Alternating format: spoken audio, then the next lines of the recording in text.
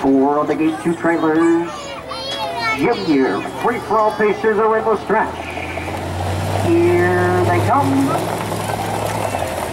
And they're off pace six. Cassie's Little Lady to the inside. Indian Creek's Happy and bluffed at the pylons now. The pocket hilltop Fancy gets away third.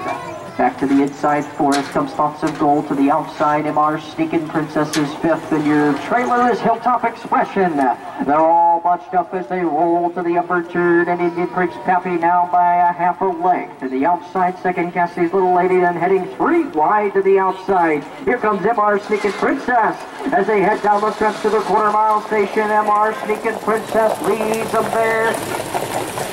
Quarter was in 35 seconds, and Indian Creek's Pappy from the center of the pack now comes Cassie's Little Lady into the outside. Still part three wide as MR Sneakin Princess blocked to the inside for Thoughts of Gold, and Hilltop Fancy follows in fifth as they roll to the final turn.